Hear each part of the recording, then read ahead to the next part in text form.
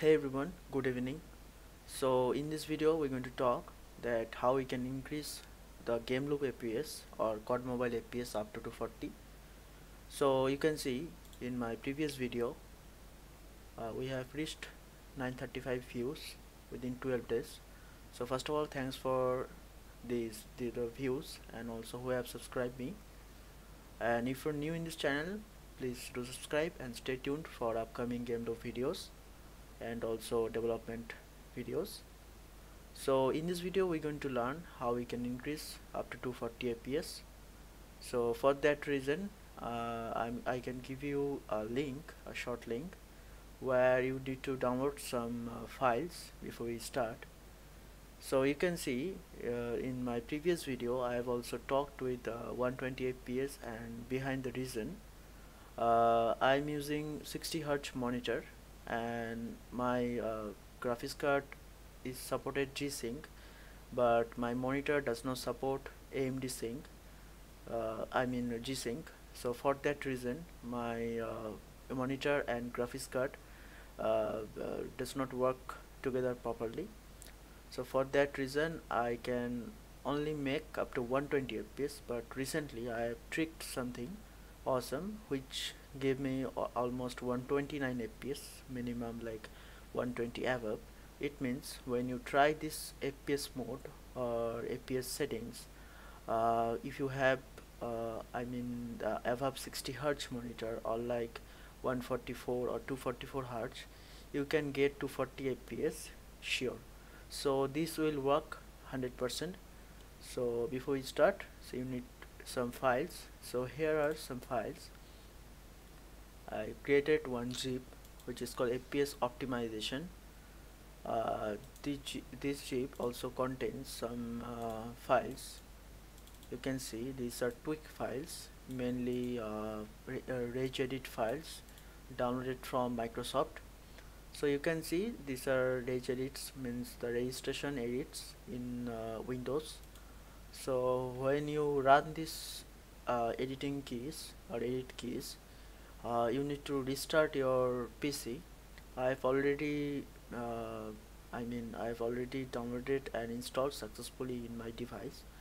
So just open GPU only. So this folder are these files for them who have uh, latest GPUs or drivers and if you doesn't have those you can try these uh, five files.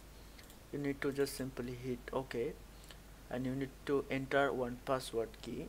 You will get uh, also free. And just press OK and yes and you can easily successfully install these files. After that you need to open the app market settings. You can see the three uh, dot icon then open settings go to the engine uh, setting and make sure the rendering mode is auto.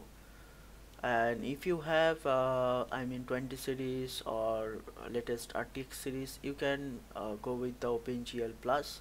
It will give more boost and make it all default. You can see automatic automatic everything. Go to game and select this graphics quality to smooth and when you open you can see this is my game and user. So go to settings. You can see let's go to auto automatically.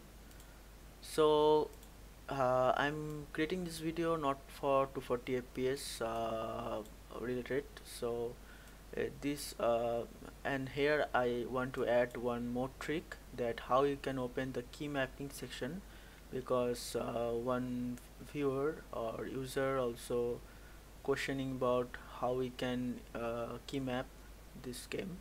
So you need to just press this tool set okay then press this key map. And you'll get this key mapping system and battle royale op the gamepad system. You can close this one. You can only have this default controller system. You can check the default control keys so this is one trick. And after you are done with the FPS optimization you just simply need to click one this click to accelerate. And you will continue to accelerating the speed. It will clean the memory. But there are some issues because the memory cleaning also caused the login failure. So when you are in login screen means the Facebook login user login Call of Duty login then you should uh, use these options.